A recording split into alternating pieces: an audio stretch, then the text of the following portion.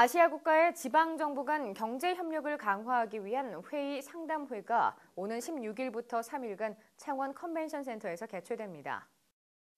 올해 3회째를 맞은 이번 회의에는 중국, 일본, 인도네시아, 베트남 등의 17개 도시에서 지방정부 관계자와 기업 관계자 등 80명이 참석해 지방정부 간 교류 사례를 공유하고 연구기관의 발전 방향에 대한 연구 토론이 진행됩니다. 또한 같은 기간 열리는 수출 상담회에는 경남의 주력 산업을 중심으로 수출 상담이 진행될 예정입니다.